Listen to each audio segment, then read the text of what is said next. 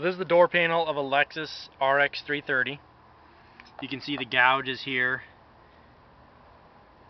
in the leather. I'm actually removing removing this piece so I can get a nice complete coverage on the interior on the interior of this seam here and I'll show you an after picture here in a little bit.